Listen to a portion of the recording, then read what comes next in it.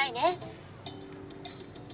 さあ次は百獣の王ライオンの紹介をしよう。野生のライオンはアフリカのサバンナなどに住んでいてシマウマなどの大型の草食動物を餌にしている大きくなると体重は200キロ以上にまでライオンといえばやっぱりオスライオンのあの立派なたてがみたてがみは3歳頃から生え始め5歳から6歳くらいで生え揃うそうですね。そうだよ。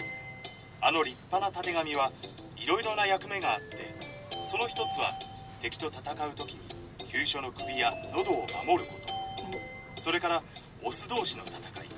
これは主にメスをめぐっての戦いなんだけどその時にたてがみの大きさだけで戦わずして勝敗が決まることがある。えー、そんなこともたてがみの大きさだけで勝敗が決まるなんて。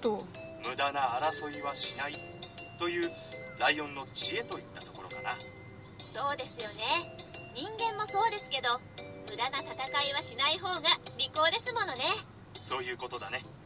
それにライオンは日中は木の下